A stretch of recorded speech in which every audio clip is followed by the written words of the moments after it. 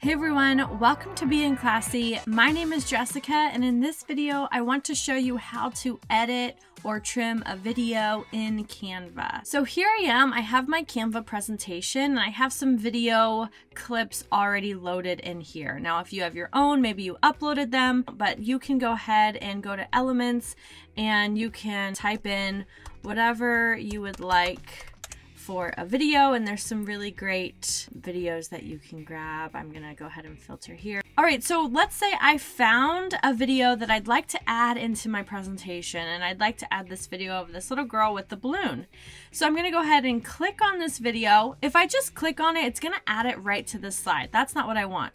I don't want it right to the slide. I want it inserted as a pay as a separate page so I can edit the video. So I'm to go ahead and click on it and slide it to my presentation until there's a purple line that shows up. All right, so now I have my video clip. This is the beginning of the video with the girl carrying the balloon. And, uh, you know, it's five seconds long, so I could keep it at five seconds, but I could also trim it. I could make it longer.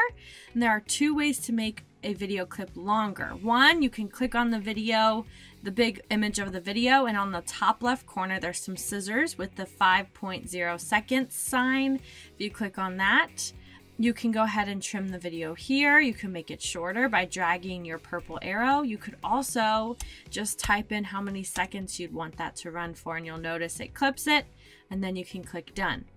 The other way you can edit the length of the video clip is down on the bottom where you see all of your clips. If you click on the clip you're looking to edit, you'll notice it's highlighted in purple. You then can drag it to be longer or shorter on either end. Now, you'll notice this was a five second clip, so if I wanted to make it longer, I might need to duplicate it. And I can do that by clicking on the three arrows on the top right corner and duplicating the page, then it would run for 10 seconds.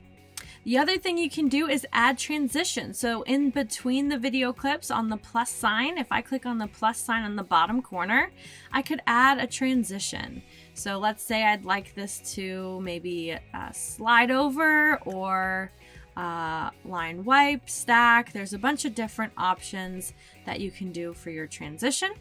If you'd like to see how things are going, go ahead and click and make your purple arrow wherever you'd like to see the edits and click on play. Then you'll notice it will show you the transition in between these clips that you added. You could get rid of the transition by clicking on it, changing it, removing it. You could also apply that transition to all your pages. You'll notice here on the left-hand corner. All right, so here's another video clip I have, and this one's really long, and I actually want to insert a different video clip in between these. So you need to split the clip. So go ahead and navigate your cursor down to the video clip that you'd like to edit, and find wherever you'd like to split the clip. So you'll notice I have this purple line here. I want to split the clip here. I'm going to right click and click split page. Now, this will allow me to cut out maybe there was an error in this video, but I didn't want to cut out the whole thing. So I can find the error. So maybe this is right here. Oh, I didn't I didn't want them to be running like that. Okay, I'm to stop it.